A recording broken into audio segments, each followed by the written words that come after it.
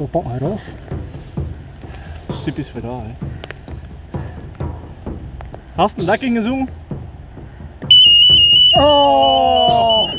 Oh, hey, Oh! oh. oh. oh. oh. oh. oh. bin raus! Lass Oh. Oh. Oh. Ah! Welcome to the information video about my airsoft bomb. In this video I'm gonna take you over the features of my Arduino airsoft bomb.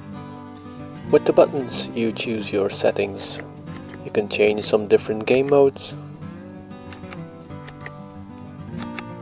You can set your time. Let's take 5 minutes and end it. And with a simple turn of the switch, you activate the bomb.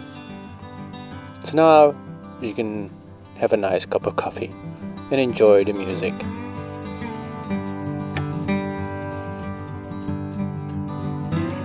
On this bomb there are a few different activation methods. You can activate the bomb by calling to the cell phone, or you can activate the bomb by cutting the wrong wire Let me demonstrate that to you. Let's cut the yellow wire. Or not. No pressure.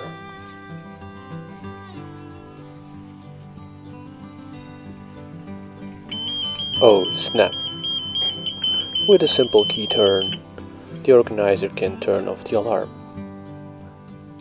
If they don't make it in time, or they don't get to a decision, bomb.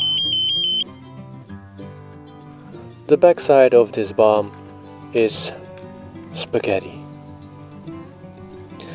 There is a motion sensor that I almost never activate because people tend to run around with it and then it goes off.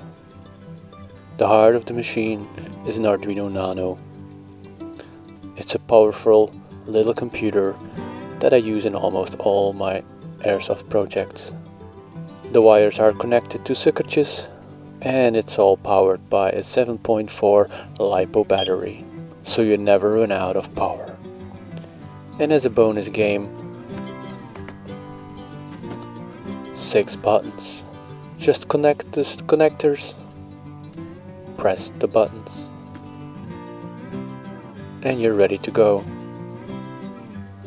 If you want to know more about the game modes that I played, if you want me to make a video about it, just let me know in the comments. I'll see you all on the next one.